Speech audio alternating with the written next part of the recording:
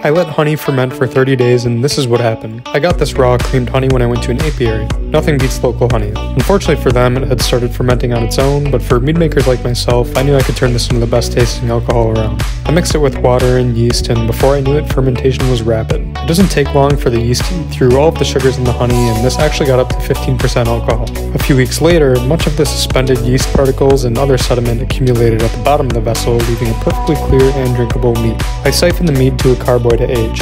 Can still see some yeast wisps floating around, but that's not an issue because as it ages, more will settle before I actually bottle it. The color, smell, and flavor of this is already amazing, and I'd compare this batch to a dry white wine. A very strong wine, I may add. With age, the flavor profile of mead only gets better, and the bite of alcohol will mellow out over time. Now I'm adding an airlock with some sanitizer and water to seal this up without causing a buildup of pressure.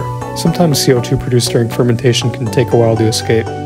Now I'm just going to let it be until it's time to bottle.